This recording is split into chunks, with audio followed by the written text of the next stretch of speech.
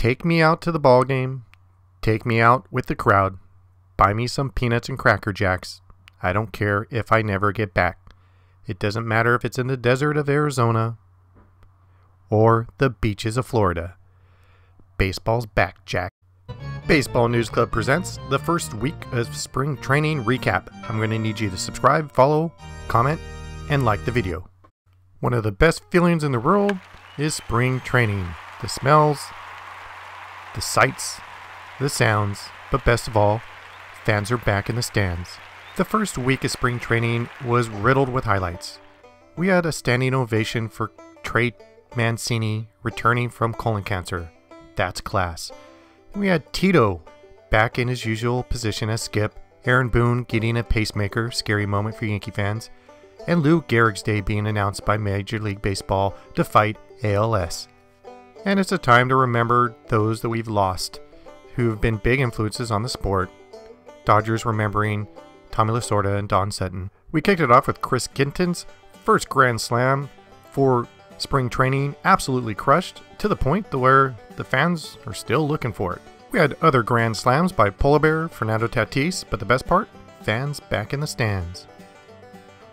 We had Seuly Matias absolutely crushing a home run, just like what he did in the minor leagues, pretty much out of the stadium. And we had Odubel Herrera practicing his bat flipping. Just a crushed home run. We also had some great fielding highlights, scary moments, and we had Cy Young Award winners with fresh haircuts, relying on the usual hot corner players and Justin Turner with a shaved beard.